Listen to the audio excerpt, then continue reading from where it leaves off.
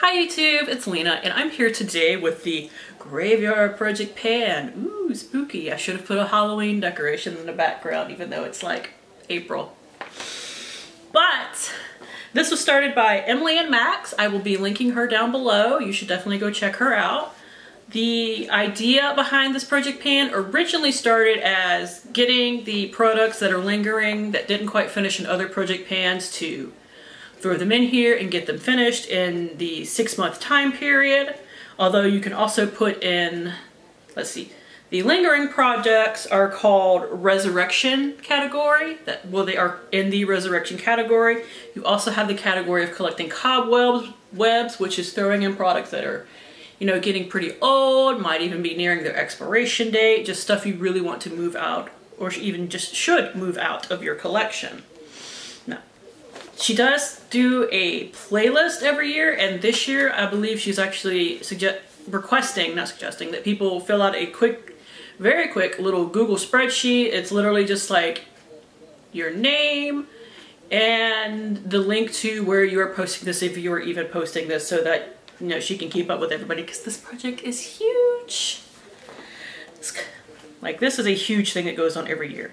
They update, well, we update every two months because two months, especially if you're painting something like a blush or an eyeshadow or stuff that's a little harder to show progress on month to month, two months, you can usually, usually at least, get significant progress on a product by that point that, you know, you're showing something different. Or if you're weighing something, you might have significant weight change or anything of that variety. Now, I have well, I have like, let's see, I have 10 products and you can put anything from like 5 to 10 in here, but it's technically 7 categories of products. You'll see what I mean in a minute. Now the first product for the resurrection category, the stuff that I'm actually pulling in from different project pans, first I have this. This is the Skin & Co. Truffle Therapy Face Gommage. I tried to finish this in my, what's it called? 7 by spring this year. Uh, this takes a lot more time to finish than I thought. So it has my old marks on it, but the bottom mark is the latest mark on it. So I will try to rub off those marks later. But as you can see, month to month, I just don't use a lot of this. So hopefully by October, I can have this finished. I really hope so. I don't love it, but it doesn't do anything bad to my skin. So I feel it's expensive. I got it in a box. I might as well use it up. And what I think is the only other actual Resurrection product that I have is from not just that same Project Pan, but at least two Project Pans before it that I can remember. It might even be, no, it's three. It is three.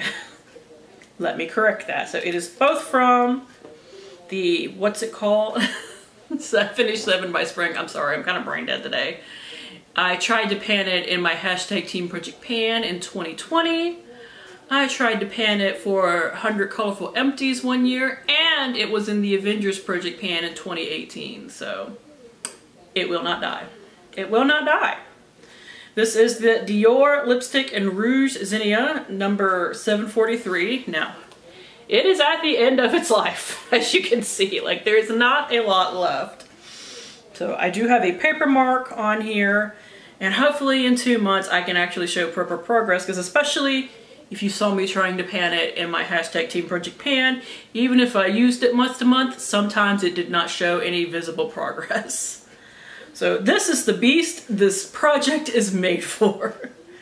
If I don't finish it by the end, I'm probably going to throw it away in a fit of rage, even though I love the color. I got it as a gift. I am eternally grateful for my friend getting me this as a gift, but holy shit, I have been working on this lipstick forever. It's very pigmented. That's part of the reason why you just don't go through it very fast. I will say, I got her money's worth out of it. Now everything else is in collecting cobwebs because they are all older products. The first two things I grabbed are actually two face serums, but they're going to be kind of serving different purposes. First is this Elemis Superfood Cica Calm Hydration Juice.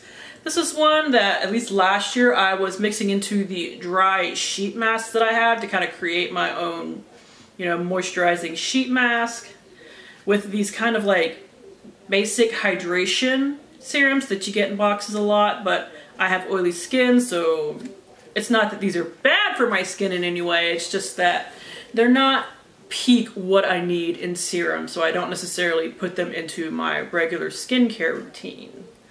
So this one is starting right here, so it's about half done, but in using it in those sheet masks, these full, even these full sizes tend to go fairly quickly.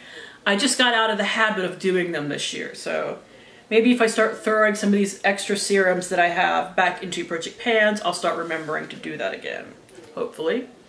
And the other one I have that I haven't totally decided what I'm going to use it for yet, as far as either just in my skincare routine or as for sheet masks, is the Purlisse Prevent Blue Lotus Brightening Serum. And I say that because this is actually a really expensive serum, at least for me. It's $65, which is, it's a bit up there. I got it in an Ipsy Glam bag, plus I did not pay $65 for it, which, and the thing is, I do really like it. And even though it helps with anti-inflammatory issues, which I have a lot of redness in my skin, so this does help with that sort of thing. But at the same time, I'm panning a different serum and a different project pan, and it's like a slightly thicker, slightly more creamy one, but not like heavy in any way. And, and otherwise, I would use this like during the daytime, maybe, but I have vitamin C serums that I tend to use in the daytime, so I don't know. I'm gonna, let me, I'll probably decide once I finish the Fourth Ray Beauty vitamin C serum that I'm panning with, like maybe I'll use this some days in the morning versus use the vitamin C in other days so that I can get this used up in a way I would prefer to use it up. I don't know. Maybe I'm just babbling, but you, I think you guys get what I'm trying to say. Uh, next, for uh, collecting cobwebs, last year I had this eyeshadow in this project pan. It's one of the L'Oreal Hit Pigment Duos. If These were around in like 2014, 2015 is when they got rid of them. So they're really, really old. And this is one is in, this set is in the shade Charmed. Last year I went to hit pan on this and I hit pan on it fairly quickly. But then I just decided to roll it out, work on something else. Now, this year the purple shade is actually in Fifty Shades of Purple. However, I am not working on this shade in anything as of yet. And I figure, you know what? In my Pan That palette, I've used up all of the kind of like inner corner shades that I would use for that sort of purpose. So why don't I just start working on this shade for that? So now, I will say one thing about these, these, these used to be well known for being like super pigmented. Well, mine are so old, they're starting to lose that pigmentation. So but for an inner corner shade, as long as it's brightening, it doesn't have to be super pigmented necessarily. So that's not as much of a worry here as for say like this deeper purple shade where I want that pigment to show up. But instead of just hitting pan on it this year, I want to finish the whole thing. And I think I can do that in six months, especially since, you know, you kind of have to build these shades up now because they're pretty old. Next, I mentioned this in my eye product makeup collection that I was going to put this in here, and it is, here it is. It's the e.l.f. Under Eye Primer. I've had this forever. I don't even think they make this anymore. I had to weigh it because while there it, it it's an airless pump, while there is a little hole in the bottom, it is actually not big enough for me to shove a paper clip through where I would usually be able to get a measurement on these. That's how I normally do it, but it's too small, so I can't do that. It weighs 19.4 grams. It only has 10 grams of product in it though, so I don't know, and you, if you're just using it under your eyes, I don't know how much you're gonna be using it. Now, I've seen other people pan this just as a face primer, and that might end up happening if I get close to the end and I'm not showing a lot of progress just to kind of get it done, but we shall see. And finally, I have Zany Laney sprays. no surprise there. I tend to put these in a lot of project pans because I have so many. I used to be I used to be a rep for them back when they were still in business. This was a business that a friend of mine ran. Unfortunately, uh, they lost business due to COVID and they had to shut down last year. But I still have all of these sprays and they're getting older so I figured that they would really qualify for this and I figured rather than just put one in and roll in a different one every time I would just go ahead pick out four and we'd go from there. None of these have been used except for like maybe once. This one hasn't even been used once. It was one I bought when she went out of business. This is Lucille. It is based off of Negan from The Walking Dead. Like that was the idea behind it is that they made waxes and later body sprays based off of kind of pop culture references. And this one, the scent notes are leather, fire, and rain, and it has a little, they did their own artwork. It has a little picture of Negan that they made right there. This one is Seventh Sense. It is based off of Captain Marvel, and the scent notes are leather, rose, and wine. I actually have two of these. This was the older artwork before they updated everything.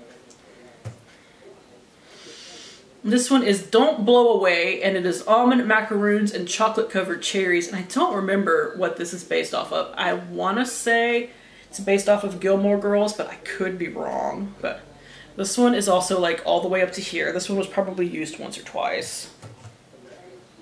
And finally, we have Gary's Vision, which is was a Halloween one they made that's based off of Addams Family 2, specifically going by the little, you know, picture of them performing the little Thanksgiving play from their summer camp.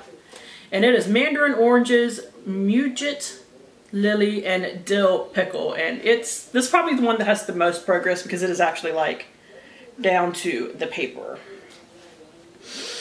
So I can typically finish about one of these a month, but I have one going right now and I have one in my 50 Shades of Purple that I want to start on before I get to these. So by the first update, I might have one finished. But that's kind of why I went ahead and threw a bunch in here is so that I wouldn't necessarily finish it in a month and then be working on nothing for a month each time. So that is it. Like I said, I will be linking everything that I can down below. Check everything out. If you want to do this, like I said, go to the Google sign up sheet and sign up there so Emily knows you're doing it. Thank you guys for tuning in. As always, I do really appreciate it and hopefully I will see you later. Bye.